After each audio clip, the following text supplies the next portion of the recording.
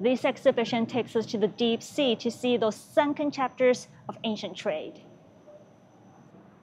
The show, titled Voyage to the Deep, showcases relics recovered from an incredible depth of 1,500 meters.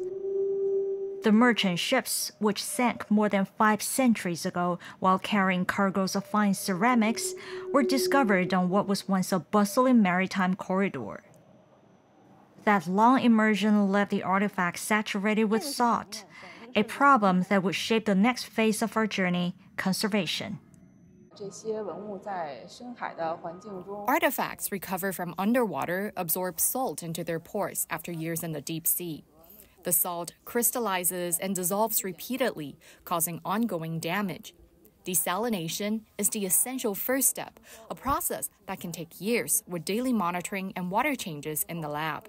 After that, conservators use fine tools like cotton swabs to clean deposits and reinforce fragile glazes step by step.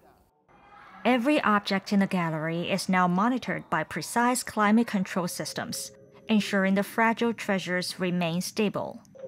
Witnessing these restored artifacts, we truly appreciate how conservation science brings history back to life.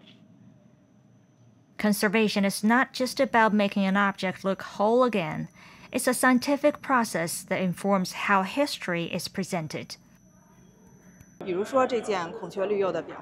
This vessel emerged from the water in separate pieces. Instead of simply gluing it back together, we preserved it in the state.